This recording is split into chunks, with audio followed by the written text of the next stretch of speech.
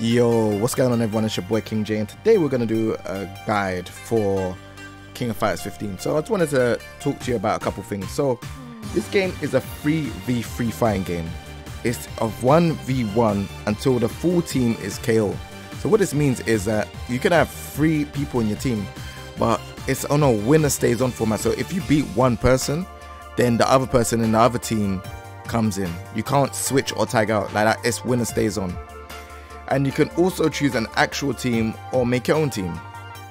In game, life bar for each character is 1000 HP, but it's divided by 100. As you can see, there's these small point parts of the HP bar, so that divides into 100. So this is for every character to kind of understand where they are when you're doing combos and stuff like that. So this game has four buttons. It's a four button layout game. So it is light punch, strong punch, light kick, strong kick. And the game is on a 2D plane, which means you cannot do no sidestep. It's only back, forward, up, and down. So if I move forward, move back, jump up, crouch. You have your unique, or should I say, command moves, where you could combo.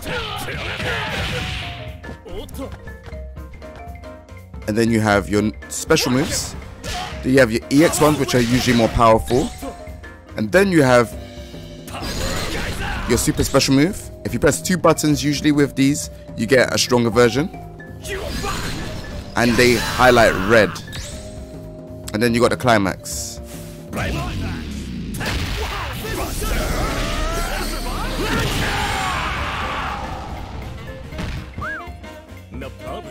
So with a level 1 super special move, they glow blue. With a level 2 super special move, they glow red.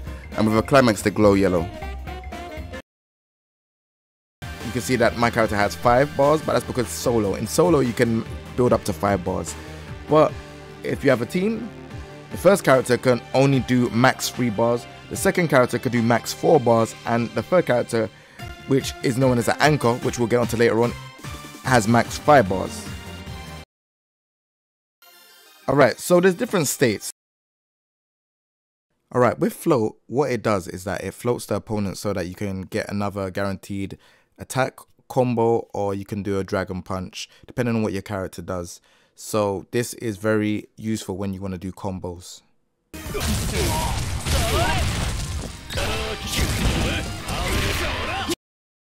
The ground bounce is hard hitting attacks that hit you on the floor and bounce you up, which allows you to get a guaranteed follow up if you're fast enough. Stun and crumple is when the opponent falls to their knees and then they fall down. If you're quick enough, you're able to get a follow up attack where they're standing, but if you're not quick enough, they will then jump back into safety. Wall bounce smacks your opponent onto the wall and then they bounce off and crumple. Depending on where you are on the stage, you are guaranteed a follow up. I'm going to just basically show you the simple rule of how to do combos in this game. So the simple rule is you do a standing heavy, so it could be a, standing heavy punch or kick, and then you mix it with a command move. Now command move are basically moves that either forward light punch or forward light kick. So something like this, let me show you. So this is a standing heavy punch. Now I mix it with a command move and then it combos, right? Now, if I do it with the other move, the only thing I can get from that is dive kick. So you have to be careful on what moves you use when it comes to command moves because each character has different things. So what I'm going to do is I'm going to now add in a, a special move. So the DP. Fireball. So there you go. Now, if I add in an EX move, let's see what happens. There we go. So, and it, that done a float state.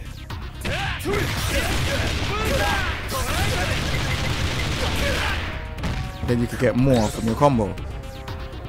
Now you can also do other things. So you, you can go max mode quick, which takes two bars.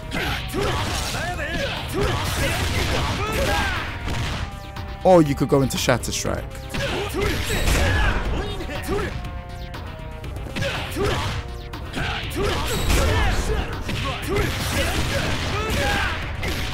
So it's entirely up to you which way you want to do it.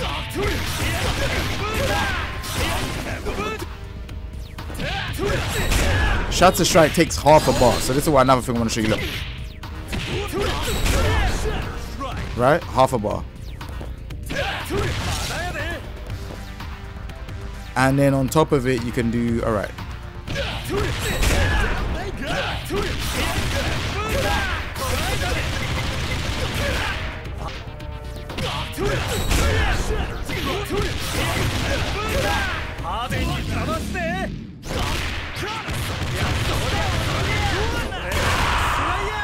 So that is not the optimal combo, but it is a combo that you can do. And the more that you keep playing the game is the more you will understand what stuff you can do with your combo. And then this is how you make your character optimal when you're playing against others.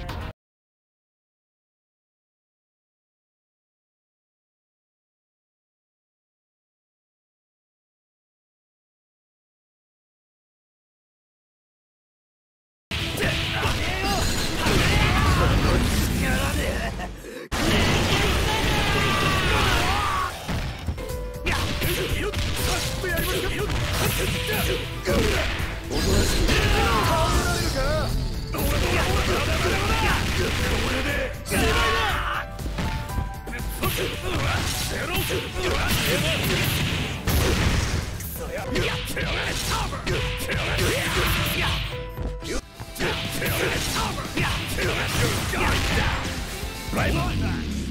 Wow! Buster! Everybody!